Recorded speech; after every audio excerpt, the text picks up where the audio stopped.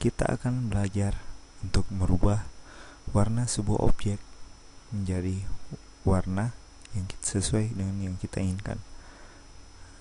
Contoh kasus pada kali ini, mobil ini yang berwarna biru akan kita rubah menjadi warna putih. Oke, langsung saja. Kita buka di Photoshop, kemudian pilih file, lalu tentukan di mana lokasi Anda menyimpan gambar tersebut. Sini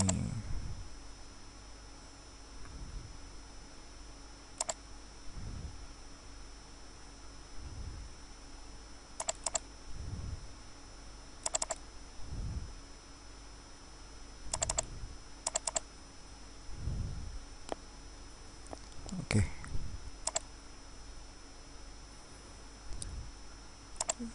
Sebelum kita mengedit, usahakan selalu untuk uh, membuat layar baru atau maksud saya uh, menduplikatkan objek yang sebelumnya. Caranya klik kanan, kemudian pilih duplikat layar. Sini kita nama beri nama objek terserah yang kita inginkan dan oke okay. Lalu kita pilih image adjustment. Lalu hue saturation atau dengan menekan Ctrl U pada keyboard. Nah pada combo master kita di sini diharapkan terhadap banyak pilihan. Master red yellow green cyan blues magenta. Nah warna ini adalah warna dari sebuah objek yang akan kita rubah. Jika master yang terpilih maka semua warna yang ada dalam gambar ini itu yang akan berubah.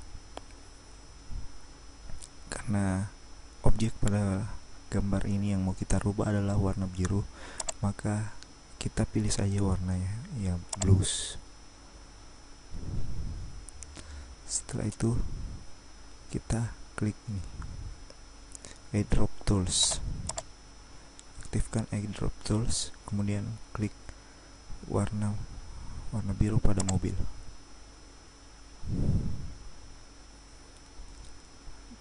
Pada tab hue jika kita rubah nilainya warnanya akan berubah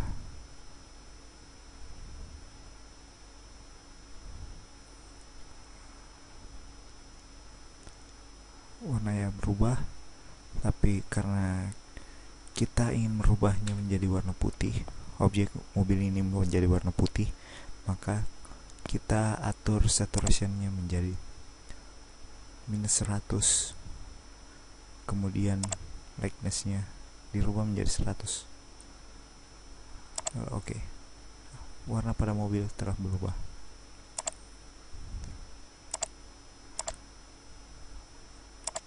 agar warna mobil ini lebih cerah dari yang sebelumnya kita usahakan untuk menduplikatkan lagi.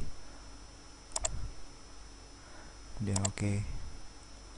lalu pilih filter distort kemudian diffuse glow.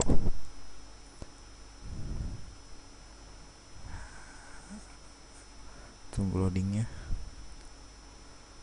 Nah setelah itu brightness kita atur menjadi 0 glow amount dirubah kira-kira 3 kemudian clear amount 17 terserah ya ini uh, nilai parameternya terserah anda. Kemudian kalau oke. okay. nah,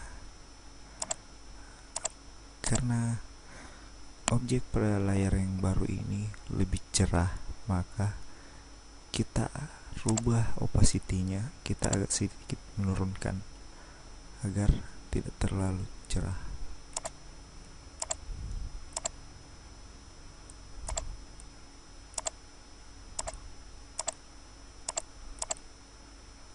Kira seperti inilah hasil akhirnya